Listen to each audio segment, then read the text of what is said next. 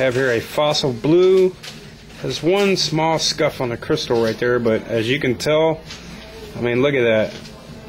Looks great, man. Almost brand new. 100% authentic. There's a case back with the numbers you want to see.